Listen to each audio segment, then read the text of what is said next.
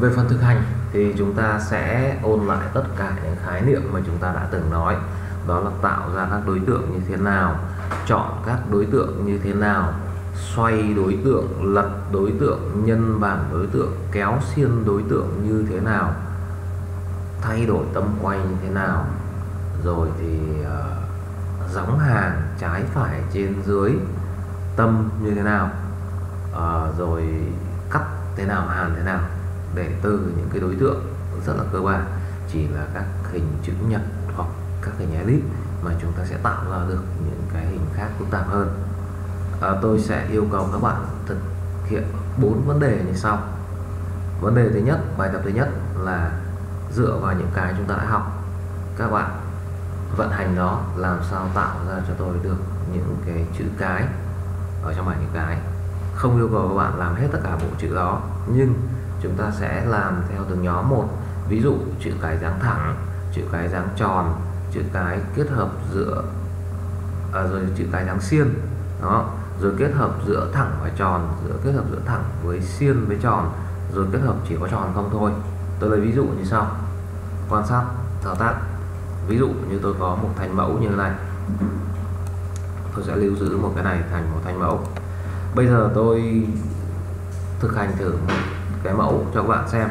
Chẳng hạn như là chữ T là một chữ tiêu biểu của cái chữ dáng thẳng, đúng không? Thì tôi sẽ nhân bản này, kéo một thành như đây, chuột phải. Vậy là tôi có một đối tượng đó là thanh thẳng bây giờ tôi nhân bản đến bài thứ hai. Nhân bản tiếp cái thứ hai thì tôi có thể thực hiện theo vài cách như sau. Ctrl C, copy, sau đó Ctrl V. Đây, Ctrl C, copy, Ctrl V dán vào. Vậy thì tôi sẽ có một đối tượng mới sẽ dán chồng lên vị trí của cái thằng mẫu. Đó. Hoặc cách khác, tôi có thể là kéo nó ra, chuột phải. Đó, thì tôi sẽ có thanh mới. Hoặc cách khác, tôi có thể làm sao đây?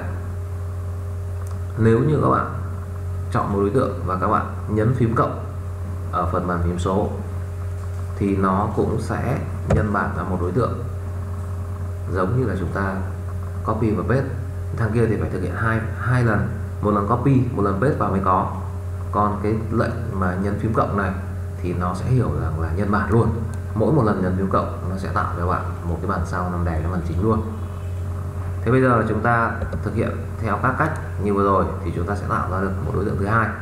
Đối tượng thứ hai này tôi cần quay nó đi một góc 90 độ sau đó tôi chọn cả hai đối tượng. Nhấn C để gióng đồng tâm, nhấn T là để gióng lên đỉnh. Trông bắt đầu ra hình dáng chữ T rồi, đúng không? Nhưng chữ T thì nó thanh ngang, nó sẽ không thể dài bằng thanh chính. Đó, do đó tôi chọn cái này. Và trong lệnh transform thì chúng ta nhắc lại cái thao tác là giữ shift thì sẽ điều chỉnh tương tác. Có nghĩa là kéo một đầu thì đầu kia sẽ kéo theo. Đúng như thế, nhưng theo chiều ngược lại, đúng không? Đến đây, tôi thấy nó hòm hòm rồi thì chọn cả hai và chúng ta sẽ làm cái lệnh vừa mới nói. Đó là lệnh well. Hàn lại thì tôi có chữ T, đúng không? Thế bây giờ đến dáng tròn nhé. Thì lấy elip, giữ control vẽ ra thì nó sẽ tròn. Nếu mà bây giờ tôi nhấn dấu cộng thì tôi sẽ có bản sao. Giữ shift, thu đều vào trong cho tới khi nào mà nó đạt được cái độ dày như mong muốn.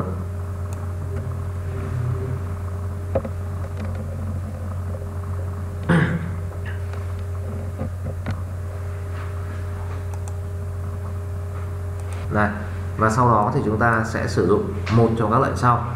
Nếu như chúng ta sử dụng lệnh trim thì sao? Cắt hình bé, cắt hình to. Nhưng mà sau đó thì chúng ta lại phải vứt cái hình bé đi tại vì giao cắt vẫn còn, đúng không? Còn trong trường hợp chúng ta sử dụng gì đây ạ? Back minus front thì nó sẽ cắt xong và nó sẽ hủy bỏ con giao cắt đi luôn.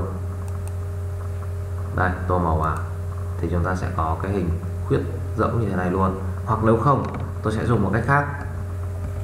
Đây.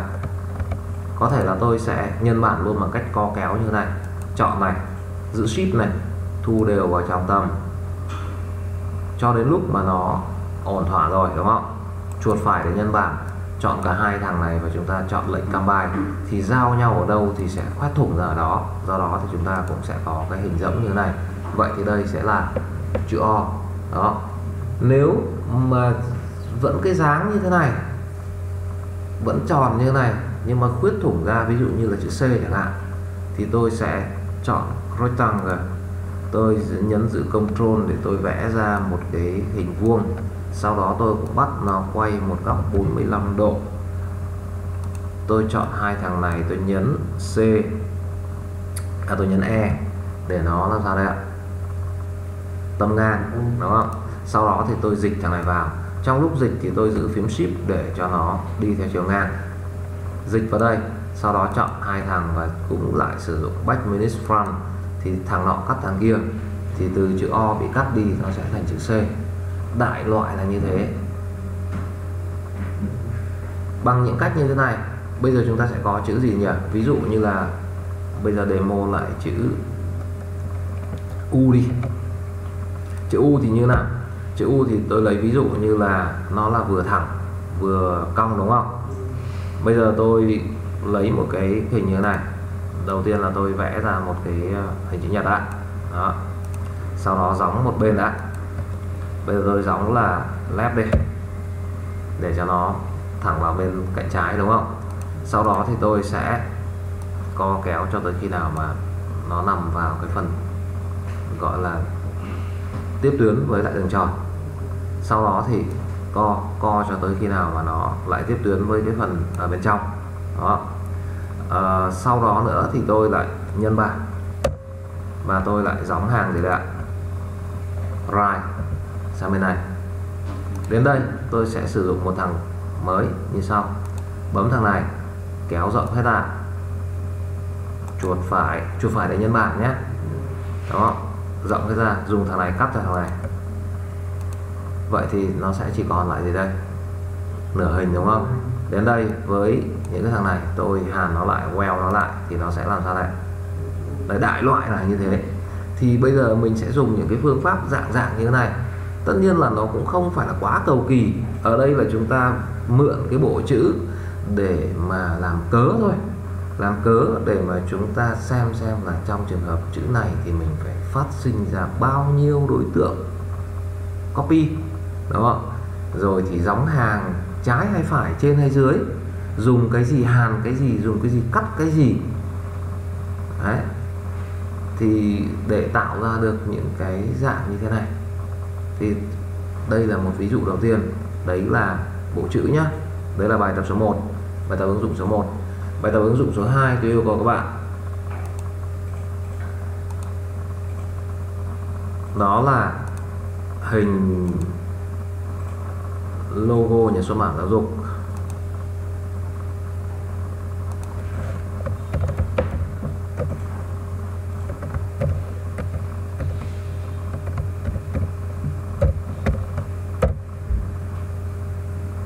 à, chúng ta chưa nói tới công cụ vẽ tự do, các cụ, các công cụ vẽ hình tự do.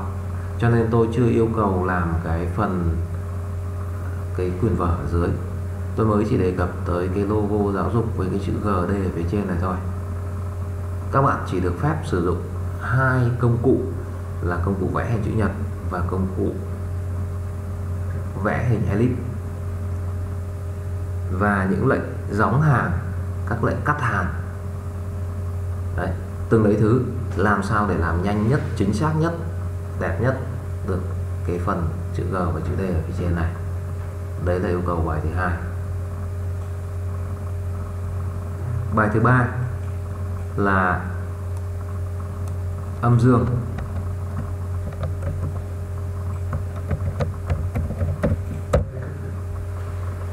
Âm dương thì nó chỉ có xuất phát là các hình tròn mà ra thôi. Đấy. ở ngoài này là một vòng tròn lớn ở trong này là một phần vòng tròn nhỏ vòng tròn nhỏ nữa. Nó kết hợp chéo với nhau thì một nửa âm nửa dương như thế này. Các bạn dùng cũng chỉ hình chữ nhật và hình elip làm sao nhân bảng gióng hàn uh, sắp xếp cắt hàn với nhau làm sao cho ra được cái cái cái cái um, thầy âm dương này. Đấy là bài tập số 3 bài tập số 4 thì nó phức tạp hơn một tí. Thì các bạn xem cái này.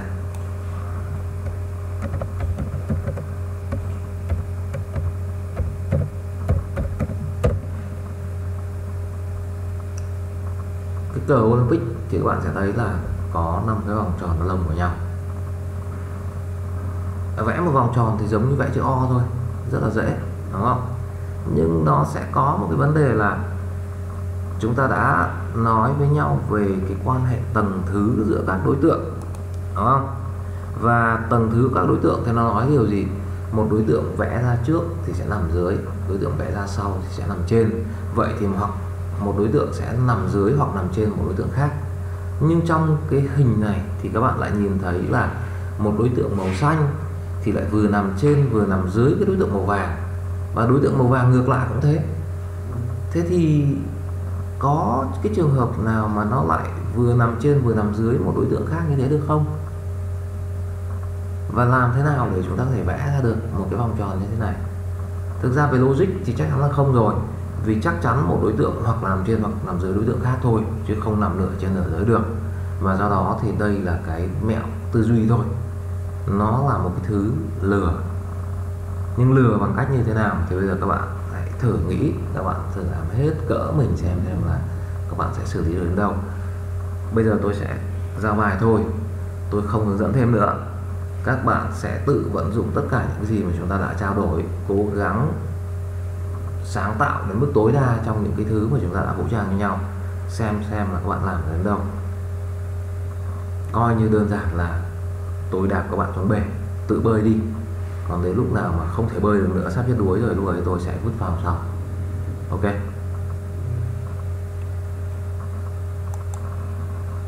Cái đòi hỏi như thế